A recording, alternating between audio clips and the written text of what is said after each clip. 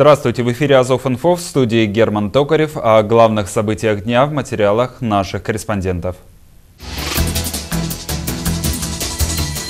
В Азове в ходе празднования 76-й годовщины Великой Победы не было традиционного парада, но прошло много ярких мероприятий. Администрация кладбища и города недостаточно подготовилась ко дню поминовения усопших. На территории винодельни «Кантина» заложили фруктовый сад. Праздничные дни завершились, но помнить события тех страшных лет мы обязаны всегда.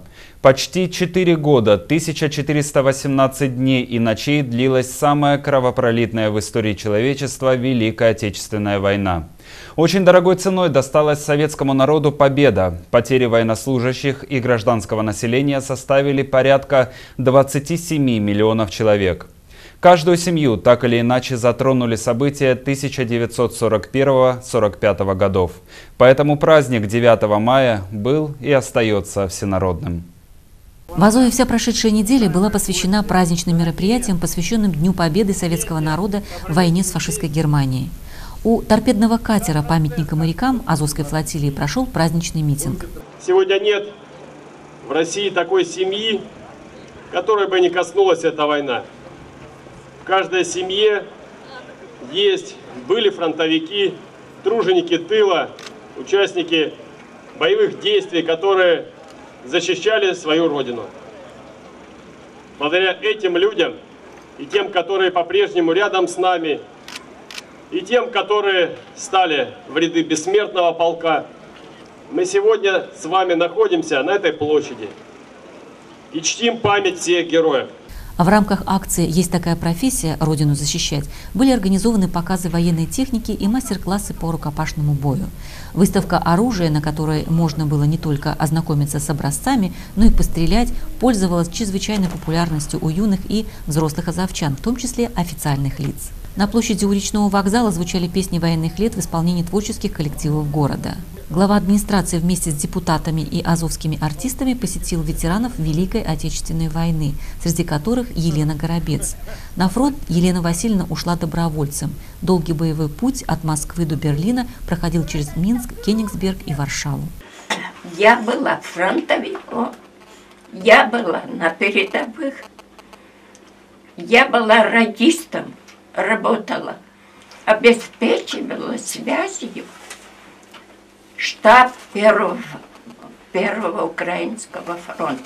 С 29 апреля по 9 мая в районе площади Победы расположился палаточный лагерь, организованный силами военно-патриотического клуба «Вымпел Азов» при содействии медицинского колледжа, Дома детского творчества и городского дворца культуры. Выставка макетов орудий стала популярной фотозоной. Кроме этого, оказалось очень много желающих отведать настоящей солдатской каши, которой угощали военнослужащие. Кульминацией праздничных мероприятий стал митинг у мемориального комплекса «Павшим за Родину». В силу эпидемиологических требований он оказался далеко не таким массовым, как в предыдущие годы. Вот это все-таки сегодня внушает уверенность э, в будущем, в завтрашнем дне, в том, что у нашей Родины такое же великое будущее, как и великое прошлое. И я хочу сказать всем жителям города спасибо большое за то, что они так трепетно относятся этому празднику, и к ветеранам, которых остается все меньше и меньше. Очень много слов поздравлений в адрес и фронтовиков, и тружеников тыла в эти дни звучит. Поэтому я всех жителей города поздравляю и хочу сказать огромное спасибо за такое искреннее живое отношение к этим событиям. Помимо официальных лиц, всех азовчан поздравил и общественный деятель Евгений Пыхонин. Дорогие завчане, от всей души хочу поздравить вас с Днем Великой Победы. Она у нас общая. Ее ковали ценой своей жизни наши отцы и деды. Ковали, трудясь в тылу, проливая кровь. Прежде всего, хочу пожелать оставшимся живых ветеранов, которых не так много, крепкого здоровья и мирного неба над головой. А каждому жителю также хочу пожелать крепкого здоровья, мира, добра, любви и счастья. И всего вам доброго. С праздником вас, дорогие завчане!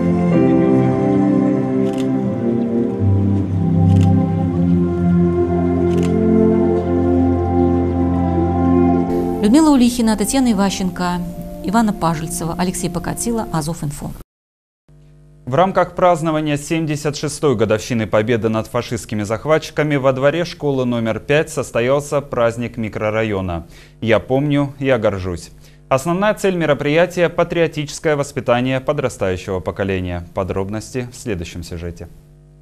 На протяжении многих лет ежегодно педагоги общеобразовательной школы номер 5 проводят многочасовое мероприятие патриотической направленности, посвященное Великой Победе. Праздник микрорайона основной костяк участников концерт э, силами детей нашей школы, а приглашены были все жители микрорайона, не только микрорайона, всего Азова. Людей много, мы рады, что кончилось то время, когда нельзя было проводить праздники. Мы соскучились за такими праздниками. Ну вот сегодня широко мы празднуем нашу победу. Мероприятие состояло из трех тематических направлений.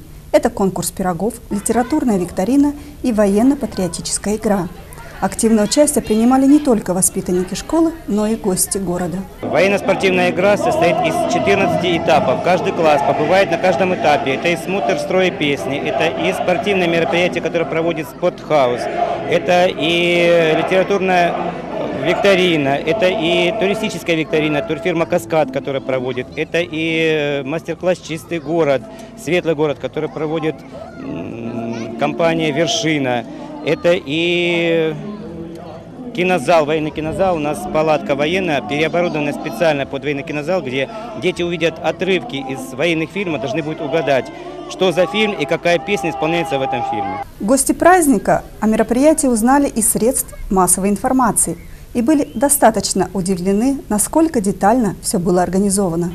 Ежегодно э, в, этом, э, в этой школе, в школе номер пять, проходит мероприятие, которое называется «Я помню, я горжусь».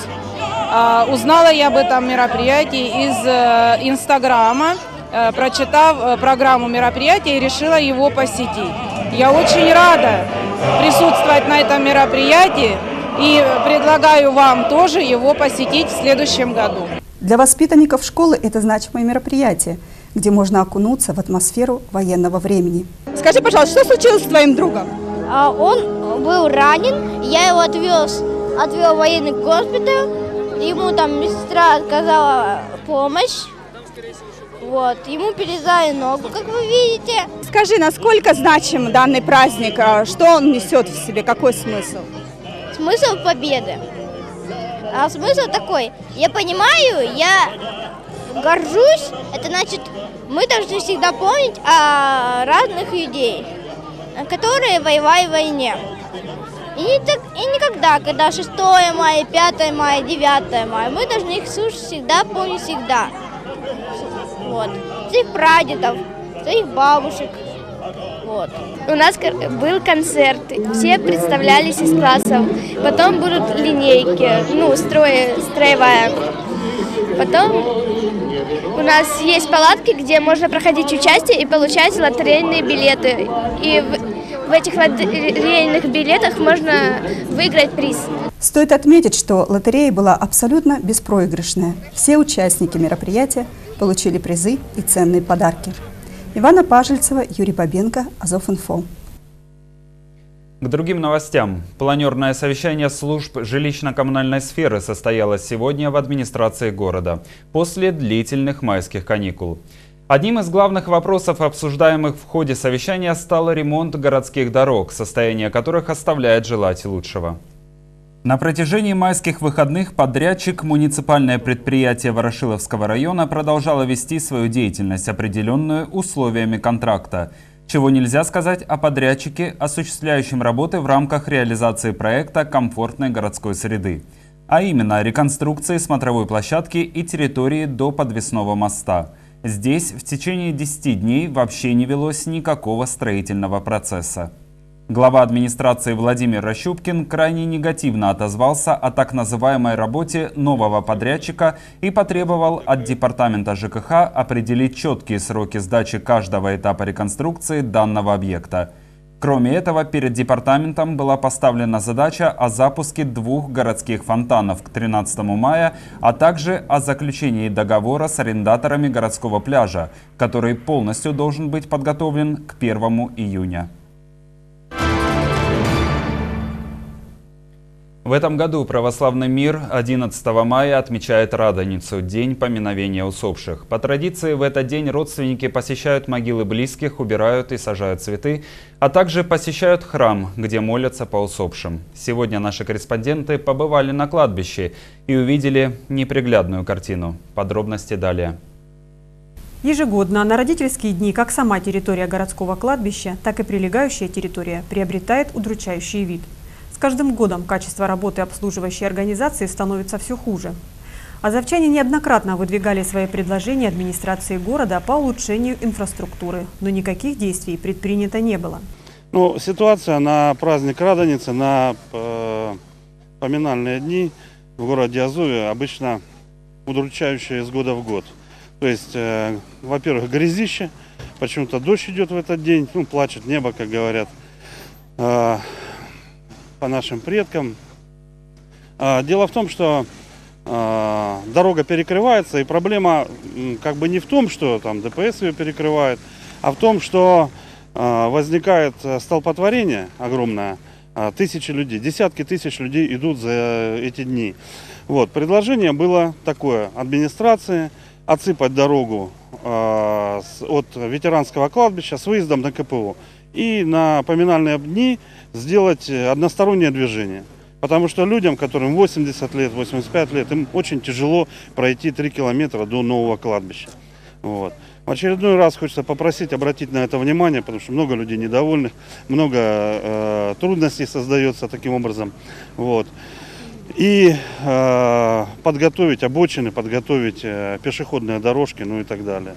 Действительно, территория городского кладбища составляет около 50 гектаров. У пожилых людей, пришедших помянуть своих усопших родных, нет никаких вариантов для сокращения пути от часовни до так называемого нового кладбища. И к нескольким километрам дороги добавляется мусор, ямы и грязь. Вот что думают о состоянии кладбища и прилегающей территории жители, пришедшие в этот день для поминовения близких ушедших людей.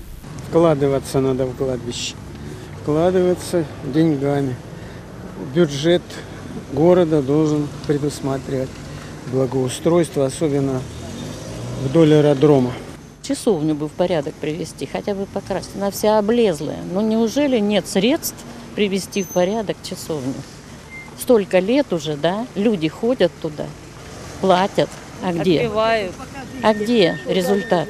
Никакого. Ни тротуарчика, все разбито. Дорога вообще, гляньте, там понасыпали этого кучи какого-то э, какой-то земли. Непонятно, год лежит эта земля там. Там не проедешь на то кладбище. Вообще мы были в воскресенье, сын еле доехал машиной. Вот эти все ямы. Такие деньги гребут за похорону, за похороны. И вот это нельзя сделать, дорогу нормальную. Это ужас какой-то. На, на транспорте нельзя подъехать, конечно, на кладбище. Беспредел. Мусора очень много. По, по центральному выходу у нас с мусором очень-очень большая проблема. А, и каждый, вот центра, центральные четыре оградки вообще засыпаны.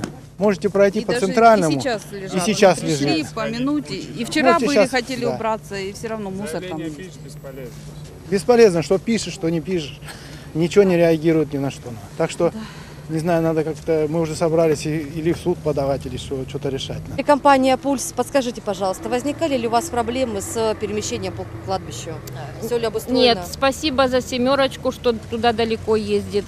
Но вот плохо, что здесь не, не становятся автобусы. Вот бабушка идет старенькая, ни двойка, ни четверка, вот ей идти до автовокзала или до вокзала. Скоты такие войну прожили, девять у матери детей было, отца убила. И сейчас детей я похоронила, мне охота до их. А видите, как хожу, пришла как. Разве это она еле дошла, я ее такое, хоть бы один, я ж подумала, с дому вышла, что тут автобусы подвезут. А я с вокзала так иду. И на кладбище хорошо, ногах хорошо, ходит очень пройти. хорошо, оттуда вот, я оттуда вот. А здесь Слезы, я и плакала, и сейчас тише говорю, хорошо, что она подошла. Что ты, говорю, как знала. А меня тянет до детей, как я не пойду. Говорю, не будет меня ждать, скажу, вот. Почему же на протяжении стольких лет не решаются одни и те же проблемы? Как нам стало известно, обязанности по наведению порядка на территориях разделены между муниципальным предприятием «Ритуал» и Департаментом имущественно-земельных отношений. По какой причине на кладбище не навели порядок, наши корреспонденты постараются выяснить в ближайшее время. Ольга Усманова, Юрий Бабенко, Алексей Покатила, Азов-Инфо. На Азовском винодельческом предприятии «Кантина» продолжаются масштабные работы по реализации грандиозного социального проекта «Спортивно-развлекательный термальный комплекс». Накануне праздника Великой Победы силами коллектива и гостей винодельни был заложен сад. Рядом с виноградником зазеленели молодые саженцы черешни, вишни, сливы, абрикоса и других фруктовых деревьев. И вот перед вами будущий сад «Кантины». Сейчас мы все вместе дружно идем сажать. У каждого желающего будет именное дерево сегодня. Каждый посадит минимум по одному деревцу. И будет, кроме виноградника, на контине появится еще и сад. А через три недели мы приглашаем всех 29 мая на открытие нашей зоны отдыха с бассейном. Мы думаем, что должны успеть. период майских каникул в спортивной школе номер 2 прошли открытые областные соревнования по спортивной акробатике на Кубок Героя Советского Союза Цезаря Кунникова. В течение трех дней спортсмены выступали как в личном, так и в командном зачете. По итогам соревнований призовые места распределились следующим образом. Бронзу завоевали акробаты из Донской столицы – Серебро у Новочеркасска и золото с отрывом в 30 баллов получили воспитанники спортивной школы номер 2. Традиционно приезжают к нам все города Ростовской области, но в этом году к нам еще приехала Луганская Народная Республика. Это, конечно, для них большой опыт и для нас посмотреть, э, каковы их силы, чтобы потом встречаться уже на других соревнованиях. А наша команда стала победителем этих соревнований, что это очень приятно и радостно. Дети все постарались, были большие молодцы. На сегодня это все. Впереди прогноз погоды. А я прощаюсь с вами. Звоните и сообщайте нам интересную информацию по телефону 615 54. Будем делать новости вместе. Берегите себя, соблюдайте социальную дистанцию и масочный режим. Всего вам доброго. До новых встреч.